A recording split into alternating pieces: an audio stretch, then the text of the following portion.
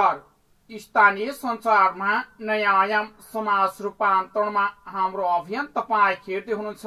साङ्जा जिल्लाकै पहिलो television Lakshmi television. हामीलाई विश्वको जुनसुकै ठाउँबाट पनि W W W dot Laxmi TV dot com login गरेर अर्थात् नेट टिभी एप्सबाट पनि हेर्न अनि सुन्न सक्नुहुनेछ।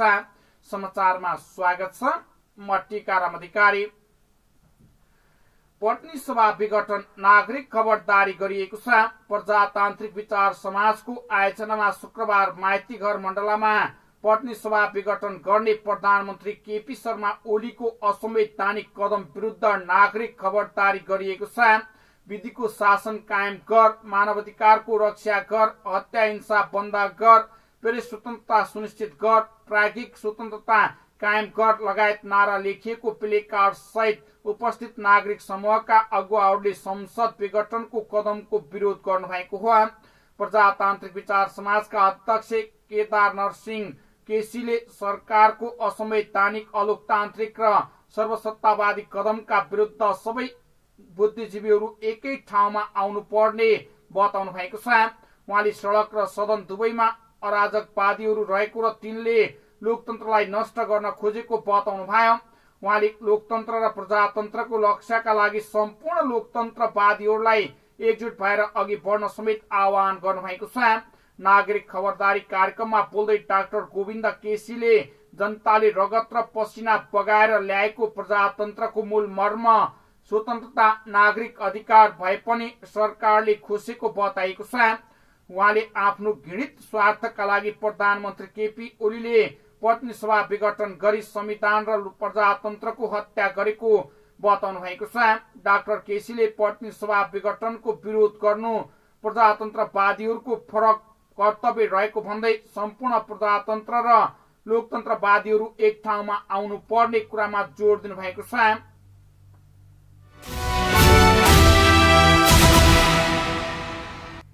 नेपाली काङ्ग्रेसका सभापति शेरबहादुर देवालले तामाङ जातिको सुनाम लोसार तथा शेर्पा जातिको क्याम्बो लोसार अर्थात् नयाँ वर्षको उपलक्ष्यमा सबैमा सुस्वास्थ्य दीर्घायु उत्तरोत्तर प्रगतिको शुभकामना व्यक्त गर्नुभएको छ। उहाँले आज एक शुभकामना सन्देश मार्फत विविधताले सम्पन्न हाम्रो मुलुकमा रहेका विभिन्न भाषा धर्म वर्ण सम्प्रदाय जात जातिको आफ्नै विशिष्ट संस्कृति परम्परा रहेको उल्लेख गर्दै सदैव एकले अर्काको धर्म भाषा संस्कृति परम्पराको सम्मान आधार गर्ने विशिष्ट पहिचान गर्न पनि उहाँले आग्रह गर्नुभएको छ। यी पर्वहरूले नेपाली समाजमा सद्भावना बढाउँदै आएको र मुलुकमा शान्ति सद्भाव र समृद्धि ल्याउन सबैलाई प्रेरणा दिने विश्वास व्यक्त गर्दै सभापति देवालले सोनाम र गोल्बो लोसारको अवसरमा शुभकामना व्यक्त दिनुभएको हो।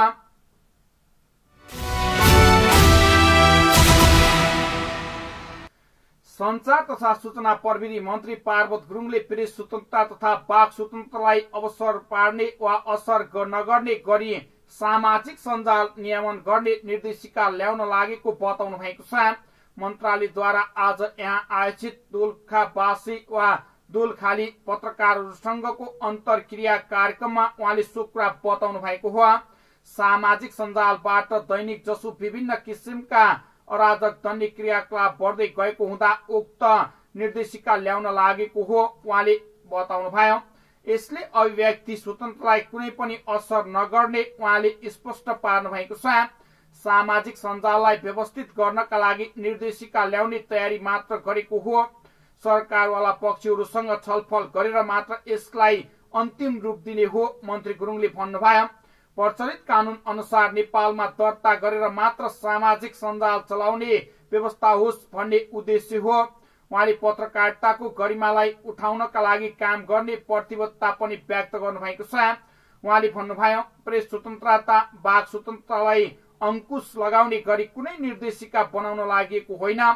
मन्त्री गुरुङले Facebook Twitter YouTube Viber imo WhatsApp Instagram Messenger बिट्याग TikTok लगायत सामाजिक सञ्जाल नेपालभित्र अनिवार्य रूपमा दर्ता गर्ने व्यवस्था भए हिंसा अराजकता जस्ता अप्रिय घटनामा कमी आउने उद्देश्यले मात्र नियमन गर्ने निर्देशिकाको विषयमा छलफल भइरहेको स्पष्ट पार्नु भएको छ। मुलुकलाई सूचना प्रविधिको हिसाबले स्मार्ट सिटी बनाउने उद्देश्यका साथ बिहिबार बसेको मन्त्री परिषदको बैठकले निर्णय अनुसार शनिबार दोलखा पाट उक्त अभियान शुरू गर्ने नीतिगत निर्णय गरेको समेत उल्लेख गर्दै सो कुरा जानकारी दिनुभएको छ।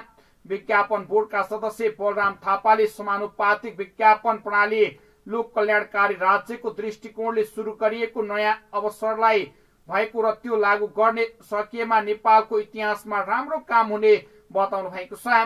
नेपाल पत्रकार महासंघका उपाध्यक्ष दिलीप थापा मगरले वर्तमान संचार मन्त्री प्रेस मैत्री भएको अनुभव सुनाउँदै सूचना विभागको पास नवीकरण गर्नका लागि जिल्ला जिल्लाबाट काठमाडौँ आउनु पर्ने बाध्यताको अन्त्य गर्नु असाध्यै राम्रो काम भएको बताउनु भयो। उहाँले विज्ञापन बोर्ड गठन गरी समावेशी विज्ञापन प्रणाली लागू गराउन प्रयत्न रहनु गर्नु पत्रकारका पीडा सुन्ने मन्त्रीको रूपमा आफूले पाएको बताउनु भएको छ।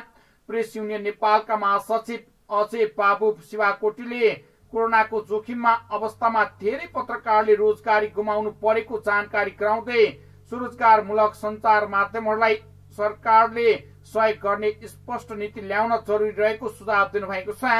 कार्यक्रममा सहभागी पत्रकारले मन्त्री गुरुङ आएपछि सञ्चार र प्रविधिको क्षेत्रमा अग्रगामी काम भइरहेको र आगामी दिनमा पनि विवाद रहित ढंगले काम गर्ने सुझाव समेत दिनुभएको छ।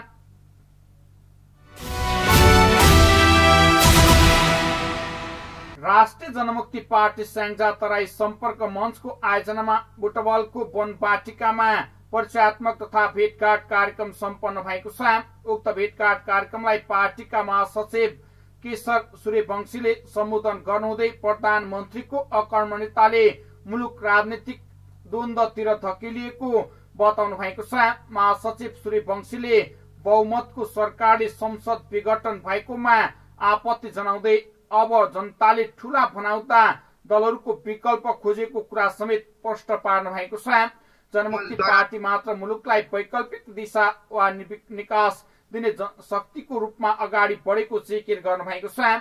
कार्यक्रममा पार्टीका उपाध्यक्ष दल बहादुर बिरकट्टा महिला मोर्चाका अध्यक्ष हो माया गुरुङ जनमुक्ति पार्टी स्याङ्जा जिल्ला अध्यक्ष बम बहादुर लामिछाने स्याङ्जा सम्पर्क मञ्चका कोषाध्यक्ष ज्योति थापा लगायतले शुभकामना मन्तव्य राख्नु भएको थियो। निश्चय पनि राष्ट्रिय जनमुक्ति पार्टीले जुन उठान गरेको विचारहरू छ जुन यसले आफ्नो सैद्धान्तिक गरेको थिए कि जनमुक्ति पार्टीलाई सांगठनिक रूपबाट अर्थात् जनमुक्ति पार्टीको विचारलाई अगाडि लैजानेको निमित्त हामीले यो पार्टीले उठान गरेको अर्थात् यो पार्टीले जुन समुदायलाई हामी माथि उकास्न चाहेको हो त्यस्तो ठाउँमा पनि यसको एक्सर्साइज गर्नुपर्छ। अर्थात् सङ्गठन अभियान लानुपर्दछ भनेर मैले पहिल्यै मान्यता राखिबोकेको थिएँ। र राष्ट्रिय जनमुक्ति पार्टी स्याङ्जा तराई सम्पर्क मञ्चका अध्यक्ष आन बहादुर सोतीको अध्यक्षतामा सम्पन्न कार्यक्रमको स्वागत मन्तव्य क्याप्टेन दुध बहादुर गुरुङले र सञ्चालन इन्दु थापाले गर्नुभएको थियो।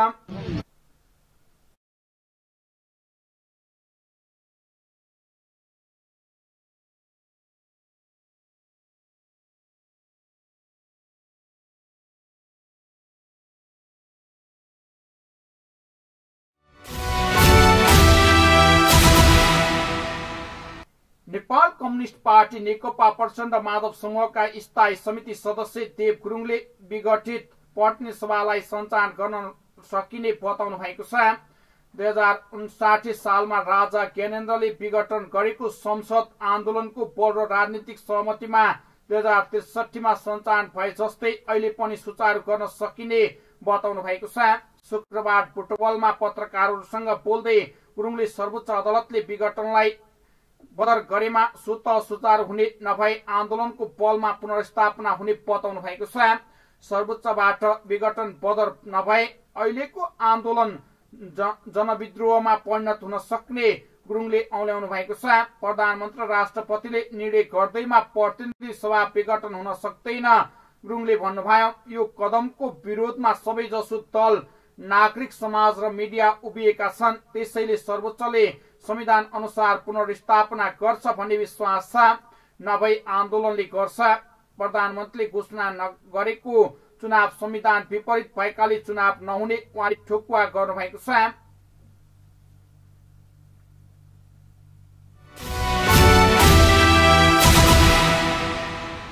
राष्ट्रिय प्रजातन्त्र पार्टीका अध्यक्ष कमल थापाले कम्युनिष्ट र काङ्ग्रेसको काम र व्यापारबाट जनता वाक्क दिक्क भएको बताउनु भएको छ।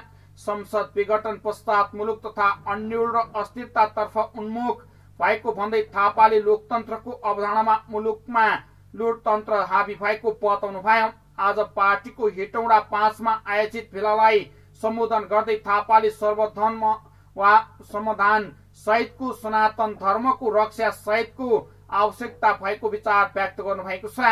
उहाँले धार्मिक द्वन्द चर्केर जाने खतराप्रति पनि चिन्ता व्यक्त गर्नुभएको छ। थापाले निर्वाचन प्रणाली खर्चिलो भएको बताउँदै निष्ठा र इमान्दारिताको राजनीति कमजोर हुँदै गएको बताउनु भयो थापाले विकास र समृद्धिको सपनालाई दुई हजार पैसठी त्रिसठी पछिको परिवर्तनले संस्थागत गर्नुको सट्टा चकनाचुर पारेको उहाँको टिप्पणी थियो।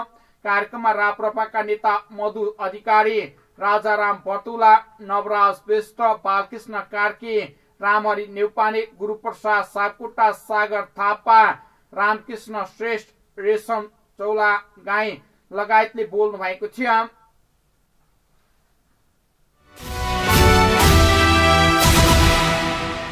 पटनी सभा विघटनलाई असंवैधानिक भनेको तर सशक्त रूपमा सड़कमा नआएको नेपाली कांग्रेसका केही नेताले धुलीखेलमा छुट्टै फेला राख्नु भएको छ। डाक्टर शेखर कोइरालाले केन्द्रीय कमिटिका आठ नेता सहित सत्ताइस फागुनमा धुलीखेलमा फेला राख्नु भएको हो। आयोजनाबद्ध रूपमा योजनाबद्ध नभई आकस्मिक भनिएको त्यो फेलाको संसद पुनर्स्थापना नभई कांग्रेसकै अस्तित्वमा संकट आउन सक्ने निष्कर्ष निकालिएको छ।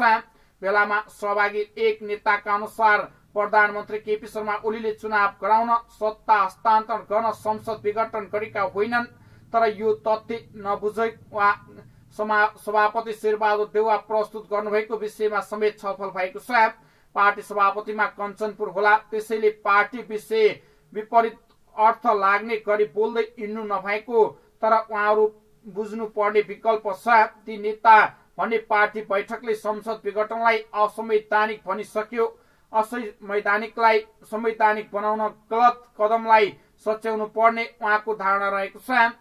भेलामा कोइराला गगन थापा चन्द्र भण्डारी धनराज गुरुङ रुद्रराज घिमिरे जीवन परियार दीपक गिरी बद्री पाण्डे सहभागी हुनुहुन्थ्यो र सर्वोच्च अदालतले संसद विघटनको विषयमा फैसला दिनु अघि नै संसद पुनर्स्थापना हुने वातावरण आउनुपर्छ भन्ने सबैको सम्मान धारणा थियो। छिमेकी रिजाउने र राष्ट्रपति सहित संवैधानिक निकायलाई हातमा लिएर ओलीले संसद विघटन पुग्नु भएको पछाडि लामै योजना रहेको काङ्ग्रेसले बुझ्नु पर्ने पनि बेलाले निष्कर्ष निकालेको छ। अहिले राज्य शक्तिको दोहन गरेर प्रचण्ड माधवलाई सिद्ध्याउने कोसिस भइरहेको छ। काङ्ग्रेसले ओलीको कली ललिपपमा फस्ने हो भने भोलि काङ्ग्रेसको पालो आउँछ। त्यसैले प्रणाली जोगाउन संसद पुनर्स्थापना गर्नुपर्दछ भन्ने हो सहभागीका नेताले भन्नुभयो। धुलीखेल बेलामा पार्टीको चौथो महाधिवेशन बारे पनि छलफल भएको थियो। संवैधानिक वा वैधानिक रूपमा भित्र महाधिवेशन हुन नसक्ने पनि असंवैधानिक सीमा भित्रै गर्न दबाव सिर्जना गर्नेमा पनि नेताहरू एकमत रहनु भएको छ।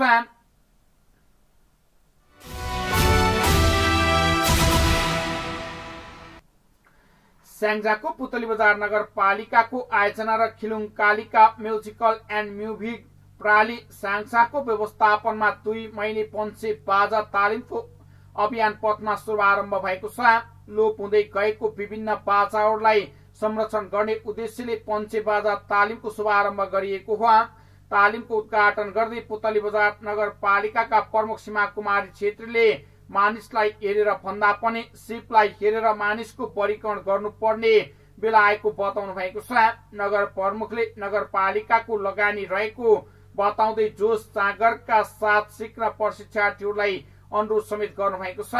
उहाँले पञ्चे बाजा तालिमका लागि पचास हजार प्रशिक्षार्थीहरूलाई आवश्यक पर्ने ड्रमको व्यवस्थापन पुतली बजार नगरपालिकाले गरिदिने जानकारी दिनुभएको थियो कार्यक्रममा पुतली बजार नगरपालिकाका प्रवक्ता तथा वडा नम्बर तेह्रका वडा अध्यक्ष ख्यामनारायण अधिकारी जनपटनी कुलानन्द लम्साल झपट बहादुर आली लगायतले कार्यक्रमको सफलताको शुभकामना व्यक्त गर्नुभएको थियो Khilung Kalika music and movies प्रणाली संस्थाका अध्यक्ष रामकुमार भण्डारीको अध्यक्षमा सम्पन्न पञ्चे बाजा तालिमको सञ्चालन कर्मचारी सुनिता सुनारले गर्नुभएको थियो भने स्वागत मन्तव्य आदि खोला रोजी घरका समूह प्रमुख विजय विश्वकर्माले गर्नुभएको थियो। दुई महिनासम्म सञ्चालन हुने उक्त तालिममा पुतली बजार नगरपालिका भित्रका करिब पन्ध्र जनाको सहभागिता रहने भएको छ।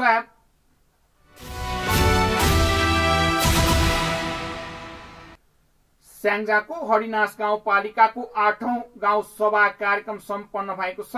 गाउँपालिकाको सभा हालमा सम्पन्न भएको गाउँपालिकालाई आवश्यक पर्ने विभिन्न ऐनहरू पारित गर्न पालिकाले आठौं सभा सम्पन्न गरेको हो। आठौं सभालाई सम्बोधन गर्दै अडिनाश गाउँपालिकाका अध्यक्ष खिमनारायण मानन्दरले पालिकालाई आवश्यक पर्ने ऐनहरू पारित हुने बताउँदै ऐन निर्माण सँगै गाउँपालिकाका कामहरू गर्न सहज हुने बताउनु भएको छ। सही सभाले आठवटा विभिन्न ऐन तथा कार्यविधिहरू पारित गरेको छ पारित ऐन तथा कार्यविधिहरूमा सस्ता दर्ता कृषि व्यवसाय प्रवर्धन कृषि अनुदान वितरण कार्यविधि सुत्केरी संघ उपाध्यक्ष पोषण कार्यक्रम कार्यविधि ऐन दुई हजार सतहत्तर रहेका छन्। त्यसै गरी भेलाले लेखा समितिको कार्य सञ्चालन समिति म स्वास्थ्य मेरो गाउँपालिका स्वास्थ्य कार्यक्रम सञ्चालन गर्ने कार्यविधि टोल विकास संस्था गठन तथा परिचालन वा कमिटी सेन्सी रकम व्यवस्थापन खर्च सम्बन्धी कार्यविधि दुई हजार सतहत्तर पारित गरेको पालिका प्रमुख प्रशासकीय अधिकृत परशुराम पोखरेलले जानकारी दिनुभएको छ। तपाईँ हेर्दै हुनुहुन्थ्यो लक्ष्मी टेलिभिजन अर्को समाचारमा पुनः अप्सनले बाचा गर्दै लाइभ भने समाचार युनिटबाट बिदा हुन चाहन्छौ। तपाईँ भने हेर्दै गर्नुहोला लक्ष्मी टेलिभिजन। नमस्कार।